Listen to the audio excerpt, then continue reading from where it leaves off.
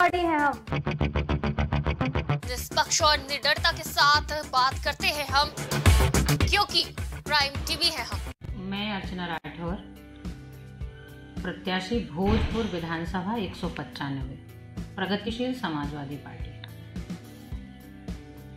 एक बार पहले आप सभी को नमस्कार। समस्त जनपद वासियों को हमारी ओर से मकर संक्रांति की ढेर सारी बधाई।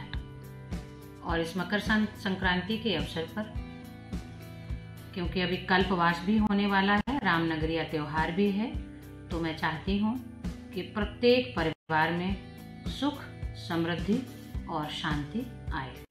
सर्वे भवन्तु सुखिनः, सर्वे सन्तु निरामया, सर्वे भद्राणि पश्यन्तु, माँ कश्चित दुख भाग भवे अगेन, ढेर सारी बधाई, सादर, धन्यवाद। राजधानी से लेकर हर तहसील तक। जनता की